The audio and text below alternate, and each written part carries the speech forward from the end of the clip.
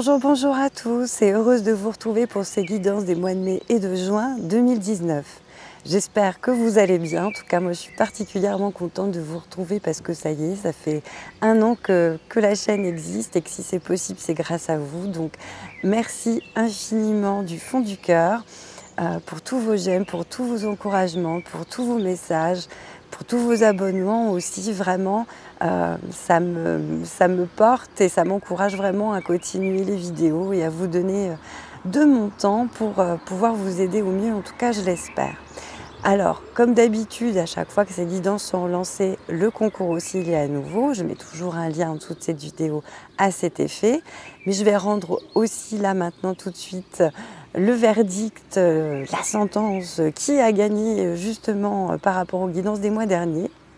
Tatata, mon roulement de tambour et nous avons eu Véronique Desbourdieu. Félicitations à vous. Donc, au choix, vous avez gagné un soin ou une guidance. Donc vous pouvez venir vers moi par mail, euh, via la page Facebook, euh, voilà, comme vous le souhaitez. Et puis on prendra rendez-vous ensemble pour voir ce qui vous convient le mieux.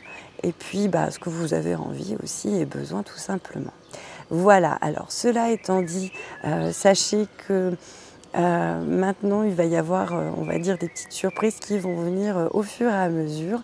je pas envie pour l'instant de, tout dévoiler, mais je vais essayer en tout cas d'être un peu plus présente. Je vais aussi avoir d'autres choses à vous proposer pour euh, vous accompagner au mieux, en tout cas sur votre chemin, pour ceux qui le souhaiteront. Donc, à savoir que je ferai aussi une vidéo pour les énergies générales par mois. Hein. Je vais essayer aussi de, de m'imposer entre guillemets cette petite discipline. Et puis ça vous permettra aussi de voir d'autres aspects qui vous permettront de comprendre aussi ce qui se passe. Parce que bon, c'est pareil, on peut aller regarder les vidéos de ces signes ascendants et lunaires, mais c'est bien aussi des fois d'aller regarder ceux de bah, de son conjoint, de sa compagne, des gens qui vous entourent aussi, euh, parce que ça peut aussi vous donner euh, une idée de leur état d'esprit et puis tout simplement de mieux comprendre aussi ce qu'ils traversent. Hein. si vous voulez pour certains les épauler au mieux ou, en tout cas pas vous prendre la tête entre guillemets pour des bêtises parce qu'il y a juste une mauvaise compréhension, ça peut être pas mal aussi. Voilà. Donc, eh ben, écoutez, euh, sur ce, moi, je vais vous laisser. On va passer directement à vos guidances. Puis, de toute façon, pour les surprises, euh, je vous euh, referai des vidéos individuelles, on va dire ça comme ça, par surprise. Hein. Donc voilà, donc je vous laisse maintenant et puis ben, écoutez, je vous souhaite un très beau printemps. Namasté Allez les poissons, c'est parti pour votre guidance pour ces mois de mai et de juin 2019. Comme d'habitude, n'oubliez pas que ces guidances sont générales, donc vous prenez seulement ce qui vous parle et ce qui vous vibre. Vous pouvez également aller voir les guidances de vos signes ascendants et lunaires si vous vous y retrouvez davantage ou tout simplement pour avoir des compléments d'information. Si vous ne les connaissez pas, j'ai mis des liens dans le texte en dessous de cette vidéo pour que vous puissiez les trouver. Et puis comme d'habitude, quand j'énonce des signes avec les cartes, idem, ça peut être le signe ascendant lunaire ou solaire. Donc voyez bien chacun où vous retrouvez selon vos cas. J'ai repris à nouveau le tarot mythique en 4 cartes. Donc ici nous aurons première quinzaine de mai, deuxième quinzaine, première quinzaine de juin et dernière quinzaine de juin. Vous aurez également d'autres messages avec une carte des saints et des anges, une autre des anges de l'amour de Dorine Virtue et également un message d'éveil de Mario Dugouet. Je vous rajouterai également une carte par mois avec l'oracle des chakras pour avoir une affirmation positive à travailler pour ceux qui le souhaiteront, bien sûr. On fera un petit point litho et puis on finira par les fleurs de bac pour ceux qui souhaitent être aidés émotionnellement. Après, ça peut toujours aussi donner des informations supplémentaires. Donc, on va commencer tout de suite par votre première quinzaine de mai. Et là, vous avez le roi Denis. Ça commence plutôt bien. Alors les deniers, on est plutôt sur un aspect financier et matériel. Ça représente des signes de terre, taureau, vierge, capricorne. Et là, on est quand même, vous voyez, avec un beau jaune dans le plexus solaire, dans la confiance en soi, mais également hein, dans l'abondance. Vous voyez, il a plein de deniers là, son trône en or. Il a l'air d'avoir un super palais avec euh, mettre des serviteurs dedans. Voilà, il n'est pas euh, dans le besoin, hein, foncièrement. Donc ça peut vous représenter vous si vous vous retrouvez dans le masculin sacré ou ça peut représenter une personne extérieure à vous qui a ses qualités ou qui est dans cette situation ou tout simplement les énergies du moment. Donc ça peut représenter euh, votre patron, quelqu'un euh, qui a son compte, une personne en tout cas qui a réussi, qui est bien installée matériellement. Donc ici on peut penser que si vous avez lancé un projet, bah, vous en récoltez les fruits ou que votre affaire tout simplement tourne bien, qu'il n'y a pas de souci à se faire. Et pour ceux par exemple qui voudraient lancer un projet, acquérir un bien, on peut penser également ici à une somme d'argent qui peut venir. Alors ça peut être euh, la banque par exemple qui vous accorde un prêt, ça peut être euh, une personne physique qui vous donne un coup de pouce euh, financier, une somme qui doit tomber à ce moment-là. En tout cas, ici, on n'a pas à s'inquiéter. Donc, ça peut être un homme qui rentre dans votre vie, hein, si ce n'est pas déjà votre mari, par exemple, sur le plan sentimental, ou ça peut être quelqu'un qui vient vous aider tout simplement par rapport au plan professionnel. Donc là, on a le roi Midas, vous voyez, qui est plutôt charpenté hein, dans son genre, satisfait aussi de sa position sociale, qui est pragmatique, qui a le don de concrétiser ses idées dans la vie matérielle. Hein, lui, il représente vraiment l'ambition humaine. Ça peut être quelqu'un aussi qui a un bon statut social ou qui souhaite tout simplement en acquérir un, qui peut également avoir le désir d'être puissant, d'avoir aussi une certaine reconnaissance vis-à-vis du monde extérieur, mais ça peut également exprimer le besoin tout simplement d'être en sécurité d'un point de vue matériel, qui est fier également d'avoir obtenu tout ce qu'il a, d'en être arrivé là par le fruit de son travail, de ses efforts, donc là, on a quand même quelqu'un de dynamique, qui ne se contente pas, on va dire, de peu, qui a des bonnes capacités de leadership, qui dégage de la force, une bonne santé, la faculté de réalisation, mais également d'auto-guérison. Alors, malgré tout, il peut y avoir quand même des défis, dans le sens où, si vous voulez, il n'a pas que des aspects positifs. C'est-à-dire qu'on peut venir dire à certains également de faire attention à pas être trop dans le matérialisme, à pas courir trop après l'argent ou à être. Alors je vais vous montrer quand même la carte qui est en tout du paquet. On a également le 4 de Denis. Et vous voyez, lui, il les tient vraiment, euh, on va dire, très fort contre lui, comme s'il avait peur de les perdre. Ce que je veux dire par là, c'est que si certains ici connaissent une certaine forme d'élévation sociale, tant mieux, félicitations. Il n'y a aucun souci avec ça, vous l'avez bien mérité. Maintenant, n'en devenez pas, on va dire, euh, ping ou, euh, euh, je vais pas dire méprisant, mais à vous sentir trop au-dessus, à prendre la grosse tête, hein, grossièrement, ou à moins bien vous conduire de par cette réussite sociale, parce que c'est un peu son piège à lui, le roi Midas. À un moment, on lui a proposé d'exaucer un vœu, et il a demandé à ce que tout ce qui touche se transforme en or. Sauf que ce à quoi il n'a pas pensé à ce moment-là, c'est que ben, sa nourriture allait se transformer en or, donc il n'allait pas pouvoir la manger ni boire. Les gens qu'il aime, que tout ce qui se touche, en fait, finalement, allait se figer. Et comme c'est le roi de l'abondance, l'abondance, c'est une énergie qui doit circuler. Donc certains vont peut-être avoir des gains, des récompenses, on peut peut-être penser aussi à une promotion, à l'accès peut-être à un nouveau euh, cercle social, environnement. Par contre, on vient dire à ce personnage qu'une fois qu'il a atteint justement entre guillemets ce statut, c'est pas seulement le fait qu'il travaille ou qu'il fasse des efforts qu'il pourra rester à ce niveau ou que ça se passe bien, on va dire justement dans cette sphère. Le travail c'est une chose, mais après les relations sociales, on va dire, c'en est une autre. Donc attention pour certains à ne pas être dans le jugement, mais davantage dans la tolérance, parce que c'est la base, c'est les fondations, si vous voulez, d'une puissance et d'une autorité saine. Et puis pour d'autres, on vient vous dire de ne pas attacher non plus votre ambition à n'importe quoi, mais d'apprendre également à vous contenter de ce que vous avez, à être dans la gratitude, à remercier déjà pour ce qui est et qui sera. Bon, de toute façon, on va voir euh, dans quel sens ça va aller avec les cartes suivantes. Alors pour votre deuxième quinzaine de mai, là on a le 4 d'épée. Alors les épées, on est davantage dans des signes d'air, balance, gémeaux, verso, sur le plan mental, de l'esprit. Et là, vous voyez, on retrouve ici Orestre, hein, qui est plutôt un jeune homme, Donc vous pouvez peut-être vous y retrouver aussi, ou y voir quelqu'un d'extérieur, qui est donc en position ici de méditation avec quatre épées devant lui. Pourrait penser un petit peu euh, aux différentes directions qu'il pourrait prendre, en tout cas à différents choix. Donc avoir maintenant si ici c'est deux personnes différentes ou si vous vous retrouvez davantage dans l'un ou dans l'autre. Donc on peut penser ici que c'est une personne différente, ça peut représenter également euh, votre enfant, hein, et puis ici euh, vous en tant que parent par exemple, ou ça peut être tout simplement les énergies du moment.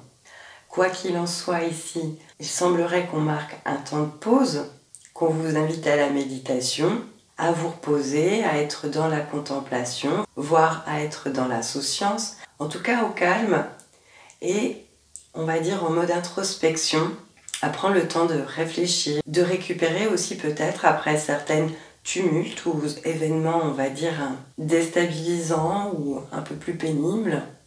Pour d'autres, ça peut être tout simplement le besoin de se régénérer pour retrouver davantage de force en vue de fournir des efforts pour le futur. Peut-être que certains auront envie de s'isoler davantage à ce moment-là ou de se poser. Pour ceux qui passent leur temps à courir partout, ça peut faire du bien. Et on vous invite également au silence Hein, parce que des fois, on croit se mettre en repos en regardant la télé ou en écoutant la musique ou en faisant ci et ça. Et là, on est toujours dans le faire. Or là, on vous demande davantage d'être dans le être, de lâcher l'ego, les mauvaises pensées et de vous recentrer.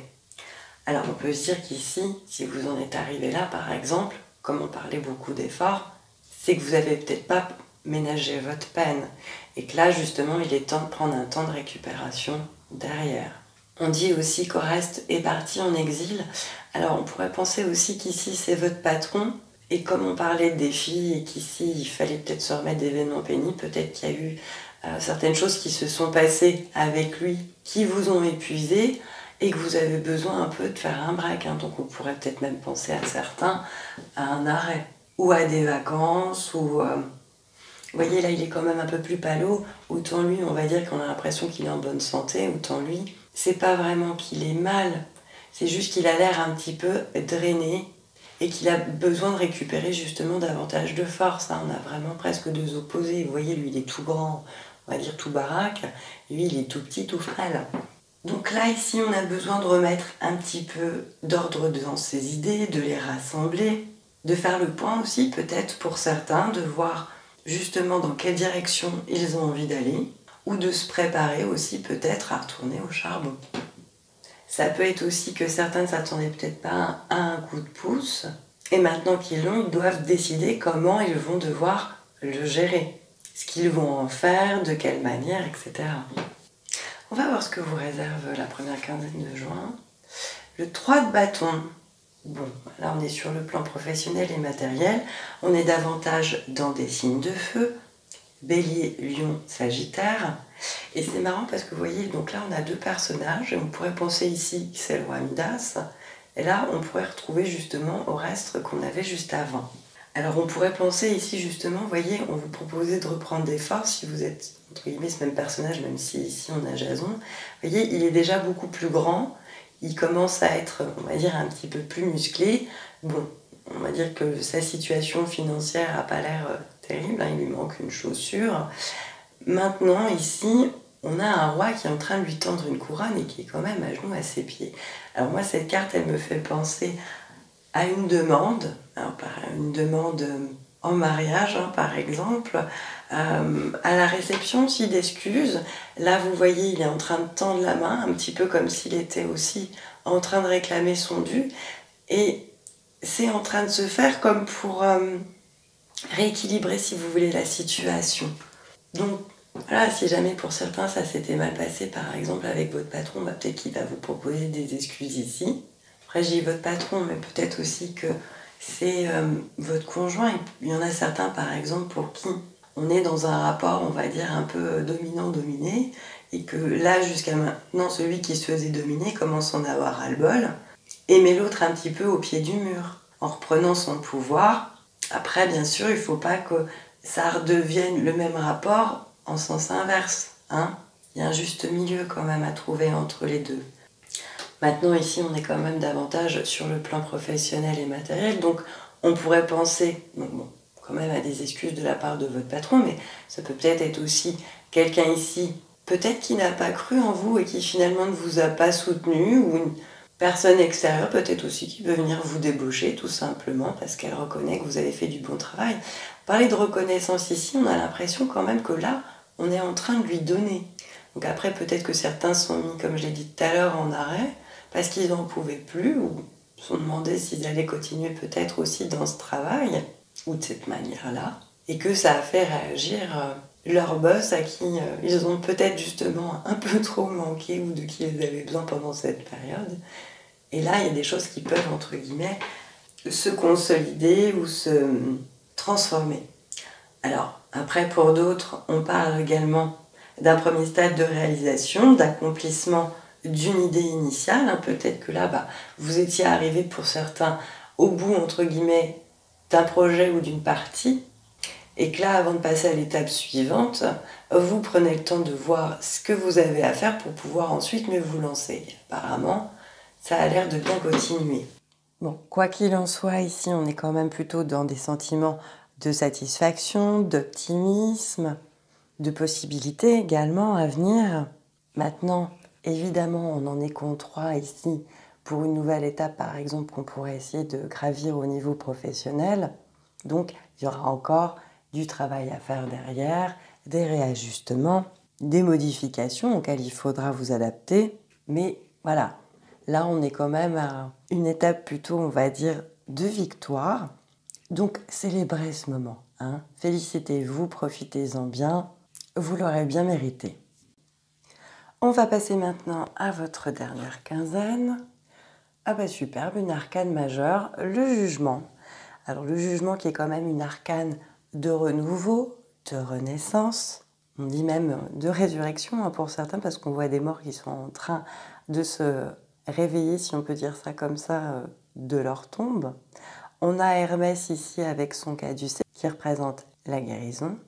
Et vous voyez, on a ici une tour noire et ici une tour blanche. On pourrait penser ici vraiment au passé et là au futur, où ça peut donner cet aspect aussi d'équilibrage entre le yin et le yang, le positif et le négatif, etc. Donc j'ai envie de dire que ce soit une relation euh, sentimentale ou euh, avec vos proches ou avec votre patron, vos collègues. Vous voyez, là, il avait l'air petit, on va dire moyen, et là, voilà, il est grand, il est fier, tout se passe bien. Ça a l'air quand même de s'arranger. Hein, si jamais il y avait des soucis pour certains, Là, on passe justement du noir au blanc. Hein. Ça fait, c'est une carte, si vous voulez, qui fait un petit peu transition.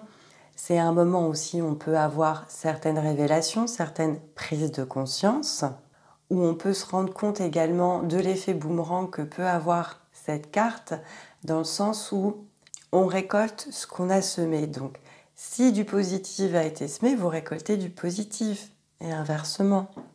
Et comme on parlait déjà de, mise au point ici, Là, si vous préférez, c'est un peu comme si toutes les pièces du puzzle allaient pouvoir enfin se remettre ensemble et que vous alliez pouvoir voir l'ensemble en fait du dessin. Pas seulement, on va dire, ce qui a peut-être pu se passer, mais tout le background en fait quelque part. Qui va pouvoir permettre à certains de pouvoir restructurer leurs pensées, leurs croyances, leur manière de vivre. Ceux qui étaient entre guillemets ici un peu plus à terre parce qu'ils étaient euh, plus fatigué ou on va dire en moins bonne santé, là vous voyez il est relevé, hein, il est euh, comme guéri si vous voulez. Donc on peut avoir l'impression que tout prend un sens, qu'on a trouvé enfin sa voie, sa mission, sa manière de fonctionner, les lois également de l'univers, et comprendre que tout ce qui s'est passé nous a permis d'en savoir davantage aussi sur nous-mêmes. Donc pour moi c'est vraiment une carte positive. Après, sachez qu'Hermès, euh, il est également accompagnateur des morts, c'est-à-dire qu'il accompagne le processus de mort, mais également de naissance. C'est un passeur d'âme, comme l'archange Azraël, hein, donc peut-être que certains aussi ont un lien, on va dire, avec cet archange, ou sont peut-être aussi passeurs d'âme. Mais là, franchement, quelle qu'ait été la situation, je trouve que ça va vraiment quand même dans le bon sens. Vous voyez, là, ça, ça descendait un petit peu, puis hop là, ça y est, on remonte. Et ce qui est bien en plus, c'est qu'avec le jugement, on va avoir des messages complémentaires pour chaque carte. Après, on peut penser aussi que, même s'il y a des excuses qui sont faites, c'est peut-être pas pour autant que vous allez y retourner, entre guillemets, derrière. Parce que s'il y a un retour du passé, ici, on est quand même dans le renouvellement. Donc peut-être que vous aurez envie, entre guillemets, de passer à autre chose. Vous verrez bien chacun selon vos cas. Bon, on va venir ici sur le roi denier vous donner les messages complémentaires avec le jugement. Pour certains, on parle d'une période très favorable, surtout si vous êtes un homme, tant sur le plan matériel, concret que celui de la santé. Par votre belle inspiration, ingéniosité ou le soutien d'un homme qui est assez aisé financièrement ou influent, on se dégagera avec brio de tout problème ou d'une situation trop médiocre afin de réaliser de grandes entreprises, voire la rénovation de son existence. On dit également que cette personne qui est représentée ici s'élèvera vers des réalités supérieures par un niveau de vie plus abondant, un déménagement, une extension ou le réaménagement de son domicile, une sage décision financière, des voyages d'affaires qui peuvent se faire notamment en avion, l'ouverture d'un commerce dans un endroit public, des moyens de déplacement très rapides, et on peut également parler d'une guérison ou de la naissance d'un garçon. Maintenant ici avec le 4 d'épée, pour certains on dit qu'il sera impossible de se dégager d'une adversité judiciaire administrative ou d'un enlisement dans son travail. On peut parler de, de crise au niveau financier, de perte de pouvoir, de niveau de vie, de conflit et de trahison, de sorte que la seule issue sera un départ en vacances ou un repos forcé via une maladie professionnelle, voire un départ à la retraite pour certains. En revanche, il n'en va pas de même pour les autres secteurs, et tant mieux, tels que la spiritualité, l'écriture, l'inventivité qui, eux, sont prometteurs. Et maintenant ici, avec le 3 de bâton, on vient dire à certains que grâce à leur chance actuelle, ils se dégageront vite de toute situation problématique ou trop insipide, que ce soit au niveau professionnel, commercial ou en rapport avec des déplacements, si ce n'est à l'étranger. Pour d'autres, on vient parler de la réalisation d'entreprises très originales, ambitieuses, voire remarquables et promises à un grand succès public, surtout si elles sont dans le domaine intellectuel, inventif, artistique, politique ou lié au marketing et au spectacle. Pour d'autres encore, on vient leur conseiller de ne pas hésiter de se déplacer rapidement, voire en avion, parce que tous les voyages ici seront fructueux et on peut également parler à certains de la célébration d'un anniversaire avec des amis. Donc vous voyez, c'est comme je vous disais, si vraiment il y avait un problème, là ça va vers de l'amélioration. On va voir maintenant quelle carte vous avez eu avec les saints et les anges. Et là, vous avez eu mariage Sainte Catherine d'Alexandrie. Alors, j'ai envie de la mettre ici, moi. Donc là, on peut parler d'un mariage actuel, mais également futur. Quand je vous parle ici de proposition, Hein, ça, peut, ça peut effectivement se rejoindre. Donc on peut avoir ici un aspect de légalisation. Et puis on vient vous dire avec cette carte que vous avez une destinée spirituelle avec un ou une épouse qui est une âme sœur. Une âme sœur, vous pouvez la reconnaître quand vous discutez avec quelqu'un que vous ne connaissiez pas, par exemple, et vous avez l'impression de vous connaître depuis des années, d'avoir un milliard de choses à vous dire et de vous sentir particulièrement bien. D'ailleurs, généralement, euh, votre aura va grossir en présence d'une âme sœur et avec elle, vous serez censé vous entraider à grandir et à évoluer. Pour ceux qui ne seraient pas encore avec, ça pourrait arriver un peu plus vite que prévu. Ouvrez bien l'œil également quant aux synchronicités. Et n'hésitez pas à faire appel à Sainte Catherine si vous voulez attirer et reconnaître cette personne, qui sera donc votre mari ou votre femme mais également pour vous aider à être honnête avec vous-même et pour savoir si une relation est véritablement saine pour vous si vous êtes tout simplement bien compatible. Bon, après, quand on parle de mariage, euh, des fois, il y a des mariages entre guillemets aussi professionnels, hein, des associations tout simplement. Et quitte à être associé, je vous le souhaite autant d'être avec une âme sœur qui justement pourra vous permettre de travailler certains plans, tout comme ça la fera travailler également. On va voir maintenant quelle carte vous avez eu avec les anges de l'amour. Et là, vous avez eu très bientôt. Décidez exactement ce que vous voulez afin que cela vous parvienne au plus vite. C'est marrant parce qu'on disait déjà pour ceux qui étaient célibataires, ou en tout cas en attente de cette personne, que ça devrait arriver un peu plus vite que prévu, enfin en tout cas sous peu. Bon bah là ici, on vous le confirme également. Et cette carte, c'est les vierges qui l'ont vue. Et avec cette carte, on vient vous interroger sur ce que vous voulez vraiment. Ça tombe bien parce que c'est un petit peu ce qui vous est proposé aussi avec le 4 d'épée. Dans le sens où des fois, on pense avoir ce qu'on veut, mais là, on vous demande d'être clair et précis. Alors ça ne veut pas dire que si vous êtes célibataire, vous devez demander que la personne fasse 1m82, euh, etc. Hein euh, mais à savoir en tout cas quelle qualité par exemple vous attendez que cette personne ait. Et pour ça forcément ça va vous demander d'être honnête avec vous. De la même manière, on vient appuyer ici avec le roi Midas sur faites attention à ce que vous souhaitez vraiment. Vous voyez quand il a demandé à ce que tout ce qu'il touche transforme en or, au final, il l'a quand même amèrement regretté. Il était obligé de demander l'annulation. Donc ici, même chose. On peut penser peut-être pour certains avoir euh, envie ou besoin d'un certain type de personne. A priori, ce serait bien euh, de refaire un point par rapport à ça pour vous attirer réellement la bonne. On vous dit aussi également d'avoir la foi, d'être optimiste, d'avoir confiance également en vos sentiments et de prendre les meilleures décisions qui s'imposent pour vous respecter. Là, on peut revenir sur l'aspect euh, dominant-dominé. Et puis, je vais vous montrer la carte qui était en dessous du paquet. Laissez vos amis vous aider. Demandez et acceptez le soutien des autres. Et voyez, parler de mariage, là, on a une jeune mariée justement, et elle est en train d'être préparée par ses amis. Donc, Bien sûr qu'on est ici sur un plan sentimental, mais c'est valable également pour les autres plans. N'hésitez pas à leur demander leur aide, leur soutien, leurs conseils aussi peut-être, pour pouvoir avancer au mieux par rapport à ce que vous voulez. Et comprenez bien également que vous ne dérangerez personne, qui sont peut-être même ravis de vous aider. On vous conseille ici bien sûr de prendre un petit temps seul, mais voilà, c'est pendant ce moment-là, c'est pas obligé de durer non plus pendant les deux mois. D'autant que pour les célibataires, si vous voulez rencontrer du monde, ce ne sera pas non plus en restant chez vous que ça va se passer. Ça va être plus difficile de rencontrer quelqu'un si vous restez euh, dans votre salon. Donc que ce soit pour vous changer les idées, pour rencontrer de nouvelles personnes, pour avoir un peu de soutien ou des bons conseils, n'hésitez pas en tout cas à faire appel à eux. Et je vous dirais même, n'hésitez pas non plus à le faire avec vos guides. Hein. L'univers est toujours là pour vous. Alors on va voir maintenant quelle carte vous avez eu avec les messages d'éveil de Mario Dugouet et vous avez eu l'apprenti.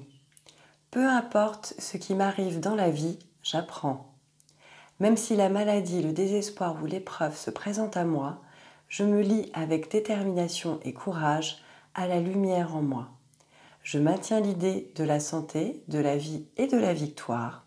La moindre étincelle d'espoir en moi m'offre l'infinie possibilité par ma foi, je peux triompher de tout.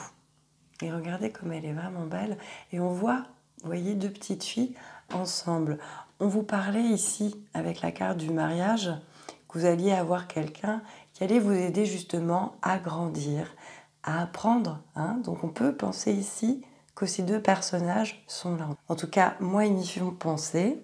Et ça rebondit également, je trouve, sur le jugement par rapport aux expériences passées desquelles on tire des leçons, des prises de conscience et une vision également plus claire et plus juste. Et puis on vient à nouveau sur l'idée de triompher. De toute façon, l'univers vous envoie jamais des défis que vous n'êtes pas capable de surmonter.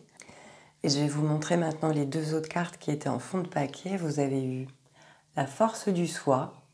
Je me fais confiance et j'avance vers ma réussite sans être limité par mes peurs et mes croyances. J'ai le choix, j'avance vers la lumière ou vers l'ombre, je chemine et je progresse selon l'élan de mon cœur, peu importe ce que l'on dit, ce que l'on pense ou ce qu'il arrive. Je ne doute jamais de ma voix intérieure, dans l'univers, tout est possible. Et vous voyez, bon, l'épée, généralement, dans les arcanes, ça représente euh, quelque chose avec lequel on doit dealer. Et là, vous voyez, elle a l'air d'être en train de danser autour de cette épée, qui, elle, là, dans cette carte-là, peut représenter davantage la force, la confiance. On peut y voir les deux et on voit surtout que c'est elle qui décide de la prendre ou non. Elle a l'air joyeuse, elle a l'air bien. Et comme je l'ai déjà dit aussi à d'autres signes, de toute façon, quoi qu'il arrive, c'est vous qui prenez la décision de bien ou de mal prendre les choses. Après, je sais bien que des fois c'est plus facile à dire qu'à faire, mais ça vous appartient. Et comme on n'arrête pas de parler de réussite et de triomphe, hein, regardez ce qu'on a, la réussite. Donc pour ceux qui désespèrent, s'il vous plaît, gardez foi. J'ai en moi toutes les capacités pour réussir une vie accomplie et heureuse. Tout mon pouvoir réside dans ma forme de pensée. Je prends conscience de cette force que j'ai d'attirer vers moi la joie, l'amour, l'abondance, le bonheur. Je me concentre sur ce qui est beau dans ma vie, je crois en moi, je crois en mes capacités et je transforme ma vie comme je l'ai toujours rêvé. Et je pense que c'est ce qu'on vient vraiment vous proposer alors plus particulièrement ici, c'est déjà amené avant. Hein. Ce qui a été fait avant, c'est justement pour vous permettre de grandir, pour vous permettre d'aller vers ce que vous désirez vraiment, mais pour ça, il faut déjà être au clair avec ce que l'on veut. Donc si jamais à un moment il y a un petit coup de mou, reposez-vous. Ça vous permettra d'avoir l'esprit déjà beaucoup plus clair, hein, parce que quand on est fatigué, on a tous tendance à être moins patient, moins tolérant, moins optimiste aussi alors qu'une fois qu'on s'est régénéré, ça va tout de suite mieux. De même, quand on communique aussi avec ses amis, plutôt que de s'engranger des fois vers ce que notre mental pourrait avoir envie de nous faire penser, ben, ils peuvent nous ramener justement peut-être à davantage de réalité, à relativiser peut-être aussi les choses. Donc n'hésitez pas encore une fois à vous appuyer sur eux et à leur demander leur aide. On va voir maintenant quelle carte vous avez eu avec l'oracle des chakras. Et pour le mois de mai, vous avez eu aura du corps émotionnel. Avec amour et impartialité, j'exprime mes sentiments devant les autres. Je comprends mieux pourquoi on a eu la turquoise également. Donc là, on est plutôt sur l'expression, sur le chakra de la gorge, mais également sur le chakra sacré, hein, puisque c'est le lieu des émotions. On peut penser d'ailleurs qu'il y a également du vert sur la carte pour parler de guérison. Et on vient vous dire avec cette carte que les sentiments sont une forme particulière d'énergie qui donne la capacité aux gens de nouer des liens entre eux, d'en tirer des enseignements de par leur expérience ou de transmettre des savoirs acquis aux autres. Alors les émotions en latin ça veut dire le mouvement vers l'extérieur et on vient vous conseiller ici de révéler aux autres ce qui vous émeut, sincèrement et sans vous décharger de vos responsabilités pour créer de la chaleur humaine, parce que telles sont les conditions du bonheur. Donc n'hésitez pas. Alors prenez le temps, je pense bien sûr d'abord de voir ce que vous avez vraiment à dire, d'avoir les idées au clair pour le faire, mais c'est important aussi euh, de ne pas garder certaines choses juste pour soi non plus. Je vous rappelle que ce qui ne s'exprime pas s'imprime. Parfois, il y a des personnes qui ne se rendent pas compte non plus de ce qu'elles ont pu vous faire parce que ce n'était pas forcément leur intention. Si vous leur dites pas, ça va être plus difficile qu'elles en prennent conscience, qu'elles excusent ou de pouvoir trouver entre guillemets un compromis ou un arrangement par rapport à ça, comme on vous le proposait avec le 3 de bâton. Après, vous pouvez vous aider de l'écriture hein, pour euh, ceux qui ont besoin de sortir certaines choses, mais peut-être pas forcément d'en discuter directement dans un premier lieu avec les gens ou vous pouvez le faire comme la lettre de libération, où à la base, vous, vous jetez tout, on va dire, euh, tel que vous le pensez, tel que ça vous vient, et même si c'est exagéré, etc., pour pouvoir redescendre après et revoir les choses avec davantage de discernement, mais également de bienveillance. Et puis pour le mois de juin, vous avez eu chakra secondaire de la plante du pied. Avec aisance et assurance, je m'engage sur la route de ma vie. Ça tombe bien parce que justement, vous êtes en train de vous lancer là. On vient dire aussi avec cette carte que euh, votre vie n'a pas à être pénible. Donc, bien sûr que vous avez le droit pour certains de vous plaindre, si vous en avez envie, mais à quoi bon vous en prendre à vous-même ou à l'extérieur? On vient vous conseiller davantage de laisser les obstacles derrière vous, de passer outre. Et puis peut-être que certains aussi ont tout simplement besoin de davantage de stimulation, de légèreté, voire d'insouciance on peut même parler de danser avec la vie. Je vais vous montrer la carte quand même qui était en dessous des saints et des anges, parce que j'aime beaucoup, là il y a déjà les couleurs arc-en-ciel, mais on parlait de mouvement, voyez, on y est aussi. Et c'est peut-être ça aussi, certaines choses à remettre en mouvement, que ce soit à dire ou ça peut être aussi votre corps, puisqu'on vous invite également à danser pour retrouver peut-être un petit peu plus de légèreté également. Voilà pour les cartes. Et puis maintenant pour le point litho. Alors pour le mois de mai, vous avez eu de la turquoise. Je ne le prends pas en main parce qu'il est cassé, donc euh, sinon ça va tomber partout. Donc là, chakra de la gorge. On dit que c'est une pierre qui est le symbole de la source de l'humanité dans la nature. Elle aide bien sûr au niveau de la communication, mais elle renforce également le corps, peut protéger aussi lors de voyages, on en parlait pas mal aussi à certains. Elle peut apaiser la colère, aider au développement de son épanouissement personnel, peut donner un regain de confiance. Elle peut également faire baisser l'acidité dans le corps, réguler l'alimentation, atténuer les douleurs, réguler également le système nerveux, renforcer aussi les champs énergétiques, elle peut être pas mal aussi à utiliser quand vous êtes justement en méditation. Hein. ça peut renforcer la connexion. Et puis pour le mois de juin, vous avez eu du jaspe rouge. Alors vous avez été quand même plusieurs à la voir, cette pierre, euh, dont les vierges d'ailleurs, si j'ai bonne mémoire. Alors oui, doit être dans ce sens-là. Et c'est une pierre qui pourra vous aider à sortir des périodes de grande fatigue nerveuse, vous redonner justement de l'énergie mais de manière plus durable, de la force, le courage également de s'affirmer ou d'affronter des difficultés. Sur le plan émotionnel, elle vous apportera un sentiment de sécurité et d'un point de vue, on va dire, plus physique, là, elle agit sur la circulation sanguine, notamment au niveau des jambes, et régule également les hormones féminines. Bon, et puis maintenant, concernant les fleurs de bac, pour ceux qui ne me connaissent pas et qui veulent savoir ce que c'est, je mets toujours un lien en dessous de cette vidéo à cet effet. J'ai pris le parti de garder les cartes tout simplement parce que comme ça, vous voyez les fleurs. Quand je vous montre un flacon, vous voyez un flacon, et comme ça, vous pourrez mettre pause et vous connecter à son essence parce que vous pouvez demander l'aide de l'esprit des plantes, des fleurs, des arbres. Et pour le mois de mai, vous avez eu Chicorée, Chicory, altruisme et don de soi. un beau violet. C'est une fleur qu'on peut utiliser dans certains cas par rapport à la blessure d'abandon mais qui peut également renforcer un sentiment de générosité, de don de soi, d'amour inconditionnel. Elle aide également à l'autonomie affective, c'est-à-dire à, l'acceptation de l'indépendance et des besoins des autres. Et elle permet également de lutter contre l'excès de contrôle et de protection de son entourage. Et puis pour le mois de juin, vous avez eu noyer, walnut, libération des liens et protection. Là, celle-là, elle me fait davantage penser euh, au jugement, puisqu'elle vous aidera à vous adapter au changement pour aller vers du nouveau. Ça tombe bien, c'est justement le but, mais également davantage de constance, de protection, de brise-lien aussi avec le passé.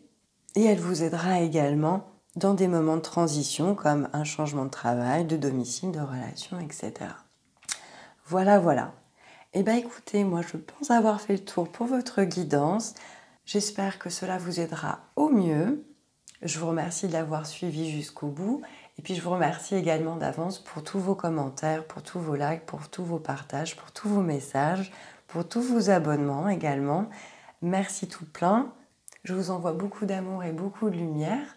Et puis je vous dis à bientôt les poissons. Namasté